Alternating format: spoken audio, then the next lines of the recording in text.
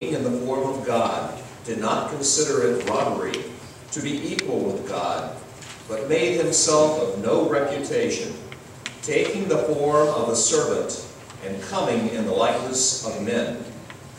And being found in appearance as a man, he humbled himself and became obedient to the point of death, even the death of the cross.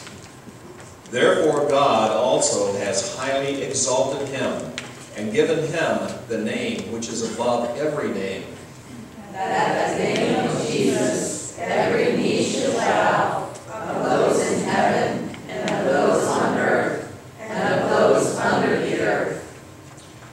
and that every tongue should confess that Jesus Christ is Lord to the glory of God the Father. Amen.